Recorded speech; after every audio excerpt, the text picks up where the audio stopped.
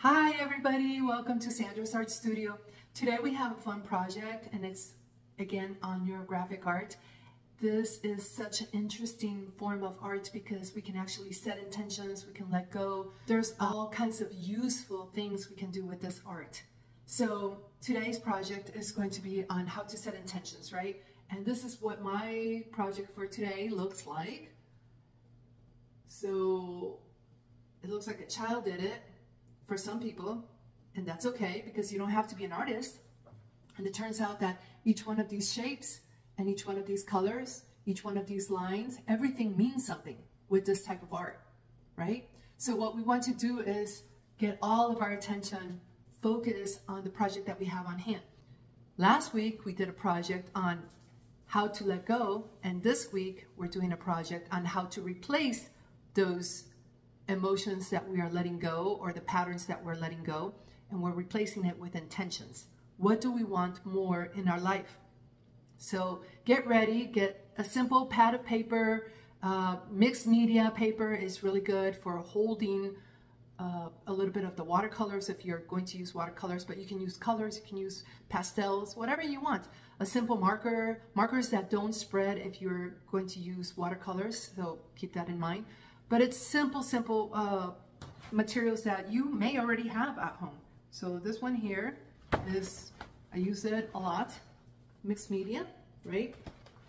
And honestly, you know, just a simple marker like this one here, and I'm using some watercolors like this. Check out the list, okay? That's it. So are you guys ready? Let's get started. So before you get started, you probably want to meditate and just clear your mind, okay? You may have a list of what your intentions are going to be on the side here, or if you have it in your head, that's fine. But let's, you know, meditate a little bit, like try to clear your head, have uh, silence, uh, don't let anybody disrupt, don't let your cell phone interrupt, okay? Just be in complete silence for a little bit. This, this is a great exercise to just allow your mind to just get organized again.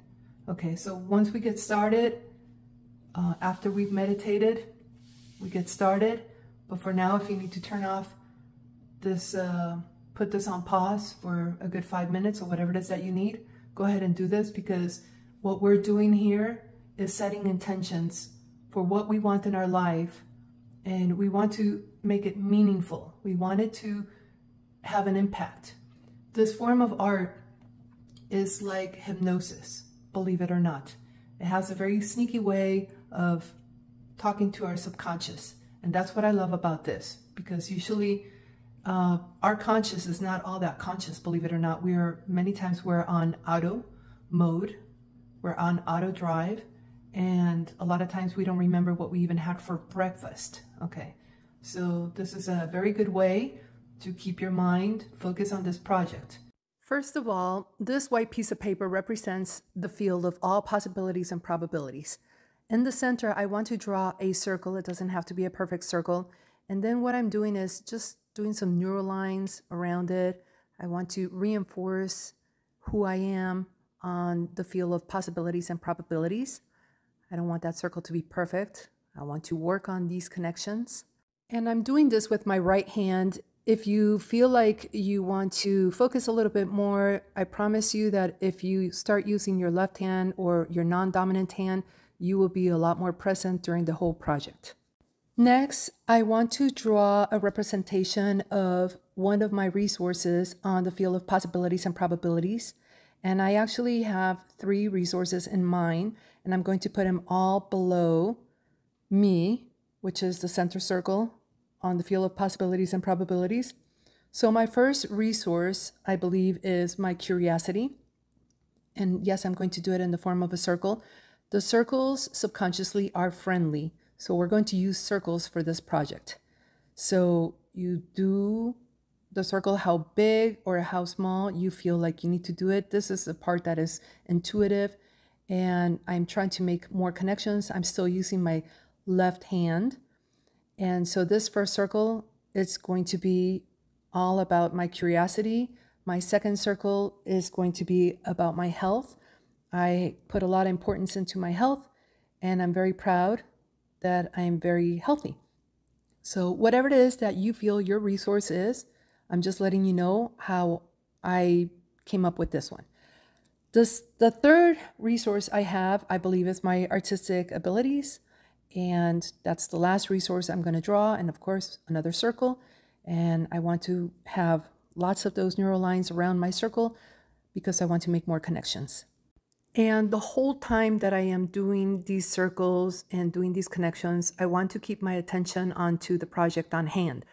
Okay, I don't want to let my mind drift on to what happened yesterday or 10 years ago or last night, whatever. You know, you just want to refocus your attention onto this project on hand. And I'm sorry about the little pop-ups, but unfortunately on YouTube, this is how we advance. We need those notifications, those likes, those subscriptions. So if you feel like you're getting something out of this uh, video, please give me a like, subscribe, and hit the notifications. All right, so the next one is going to be the intentions that I want to set that I feel I could use more of in my life. Okay, these are the things that I'm replacing that I took away on last week's project. Last week's project was about letting go. This project now is about replacing and setting your intentions. So, this particular circle here for me is all about more compensation or compensation period because right now on what I am doing I don't feel like I'm getting compensated. And it would be a lot more fun if I got compensated for the things I'm doing. And that circle, I want to give it a sign, a symbol. And this is the first symbol that I'm putting on, which is the money symbol. You can do it however you feel like, whatever speaks to you. But I feel like the money symbol speaks to me. And I always want more of it. So now that I did this symbol, I feel like I need to have a representation, uh, symbolic something into who I am on this field of possibilities and probabilities.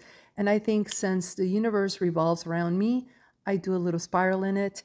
And then I said that that third circle I did below me is my abilities, my artistic abilities. So I'm giving it an A. I don't really care for writing down things, I rather use symbols, but if writing down is better for you, then by all means do that. The circle that is right below me, I believe, is my health. I, I put a H on the health uh, circle, and then the first one is about the curiosity that keeps me interested into different subjects. If it wasn't for curiosity, uh, I would not learn different subjects. So I'm giving it a C, and this totally speaks to me. Of course, you use whatever works for you. It could be a little shape or it could be just spell it out. Whatever works for you is fine. And back to my intentions, now that I have the symbols established, I want a circle to represent the thing that I want more, and that is going to be more connection with my intuition, more connection with the divine. For you, it could be more connection with God, uh, with Buddha, with, uh, you know, whatever it is that you are into, of course, do that. And it doesn't have to be about spiritualism, it could be something totally different. For me, this particular intention, I wanted to be more connection with my intuition. And that's part of the reason why I have it overlapping myself, the representation of who I am on this paper. And I'm giving it an I symbolically. I think that matches pretty good. So the next one I am doing, my next intention is to have a more connection with the people on my YouTube. I like my YouTube to finally start kicking in because I feel that uh, by having a community that we can build together through YouTube, we can help each other through YouTube, that this would be so much fun for me and I've been working on my YouTube channel for like seven years. Granted, the first six years, I did not know what I was doing. I was just uploading uh, videos of me doing different art projects, and I thought that was enough, but it was not. And for me, having YouTube recognize me and put me out there on their algorithm for you guys to be able to see me more and interact with me, that would be absolutely wonderful. I've been working on this for a while and I want it. So that's my third intention and my last intention. So these three intentions for me are a big deal. And whatever it is that you have on your intentions, by all means, uh, you can share it with everybody or you can keep it to yourself. Here, I feel like, you know, since I have a YouTube channel, I I have to share it with you guys. That's what makes it more fun.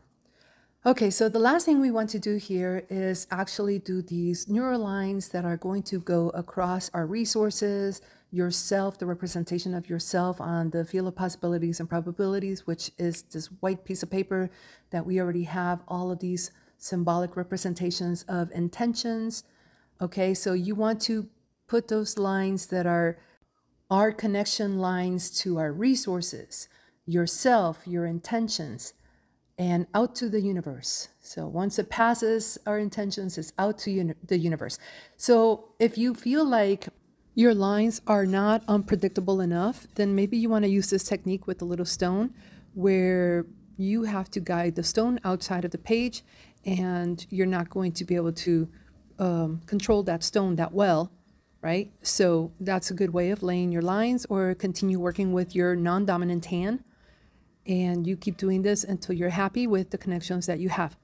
Once you have your page full of these neural lines that are connecting resources to ourselves, to our intentions, and out to the universe, then you can start doing rounding of the corners. And what that is all about is making connections with all of these neural lines to each one of your intentions, each one of your resources, yourself, and the universe. So now we want to connect each one of these intersections and subconsciously each crossing of the line is like a conflict. So we want to make it friendly and subconsciously uh, rounding is friendly. So you take each one of these crossings and you round the corners as you see I'm doing right here and you don't want to move the paper around. You want to keep it in place because it forces you to stay a lot more focused. If you have everything where it's very comfortable for you to uh, draw your line and do the rounding of the corners, then you're going to be very comfortable and you can fall into this auto mode that we are trying to avoid because our tendency is to do things um, kind of repetitious, kind of like in a pattern. Like every day, let's say we may wake up and have a cup of coffee and we may watch the news and we may know that mm, the news is not really that good for us, but we have this pattern that we can't break out of.